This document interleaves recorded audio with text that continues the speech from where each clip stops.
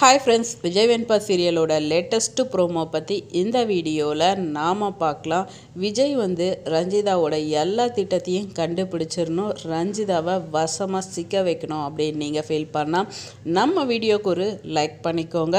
So ரஞ்சிதாவோட activity எதுவுமே விஜய்க்கு பிடிக்கவே இல்லை. அதுவும் அவங்க பண்ணுற இப்போ பர்ஃபாமன்ஸு கண்டிப்பாக அவருக்கு சந்தேகத்தை உண்டு பண்ணியிருக்கு இவ ஏதோ பண்ண போகிறா அப்படின்ற நிலையை அவர் உணர்ந்திருப்பார். ஏன்னா கிளம்புறப்ப திஸ் திஷ்டியெல்லாம் சுற்றி போடுறாங்க மன்னிப்பு கேட்குறாங்க நான் தான் எல்லாத்தையும் செய்வேன்றாங்க.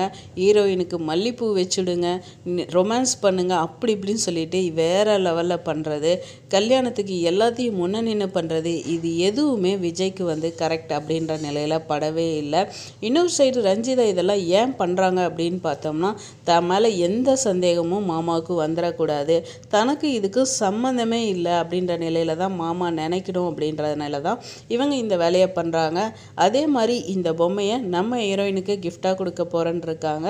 அதை தடுக்கிற விதம் இவங்க அப்பாவே இருந்திருக்காரு. ஒருவேளை இதுக்கு ஹீரோயினுக்கு நல்லதுக்காக கடவுள் அமிச்சாரா அவங்க அப்பாவை அப்படின்ற மாதிரி தான் ரெண்டு பேருமே அந்த பொம்மையை வச்சு இழுத்துக்கிறாங்க. இதுக்குமா இதை கை வச்சிருக்க? குடுமான்னு.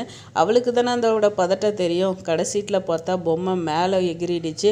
இது வந்து நம்ம ரஞ்சிதாவுக்கு ஒரு பெரிய ஷாக்கிங் தான். ஸோ உண்மையோ இல்லை வெடிச்சிருச்சுன்னா மொத்த பிளானும் சொதப்பல். ஸோ அந்த அதிர்ச்சி தான்.